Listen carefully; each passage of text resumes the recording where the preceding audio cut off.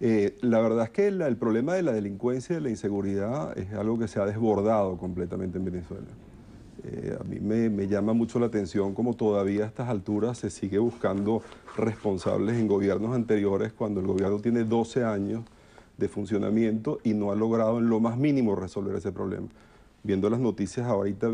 viendo el resultado de este fin de semana, nada más que en Caracas 34 muertes y muertes terribles en donde la gente recibe seis balazos y ni siquiera sin, explicación alguna. Venezuela y Caracas especialmente se ha convertido en una de las ciudades más peligrosas del mundo y vamos en un terrible retroceso que no sabemos a dónde vamos a llegar.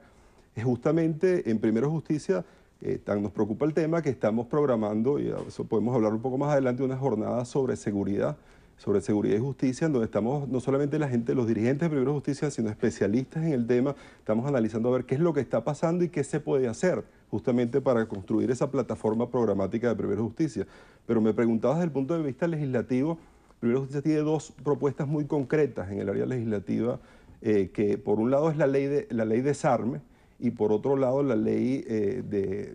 pago a las víctimas, a, los familiares eh, sobrevivientes de las víctimas de la violencia, indemnización completa a, esos familiares.